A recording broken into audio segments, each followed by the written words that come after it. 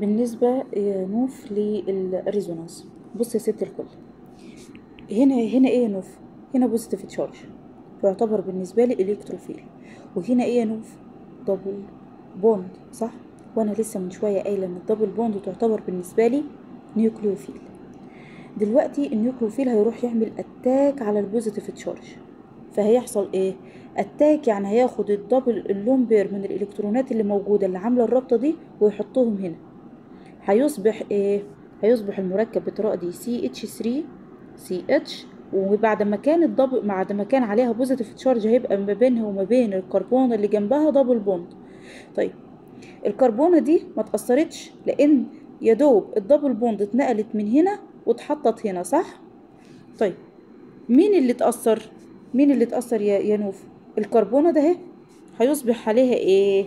هيصبح هي اللي عليها positive charge دي تمام؟ CH هي دي اللي هيصبح عليها positive charge والمركب بقى CH 3 خلاص زي ما هو. يبقى كل اللي عملناه نقلنا ال double bond من هنا خلاص؟ من بعد ما كانت هنا نقلناها وبقت هنا.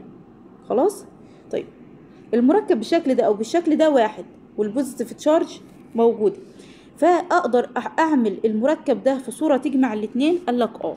بص كده معايا ادا سي اتش 3 سي اتش وال double bond هنا هعملها بلون تاني وادا سي اتش سي اتش سي اتش 3 خلاص؟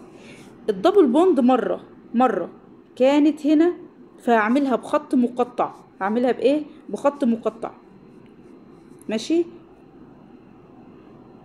ولما كانت هنا كانت دي اللي عليها positive charge فنعمل partial negative ومرة ال positive ومرة ال double bond كانت هنا. لما كانت ال double bond هنا كان اللي عليها partial positive اذا الشكل ده يجمع ال resonance بتاع الشكلين دول.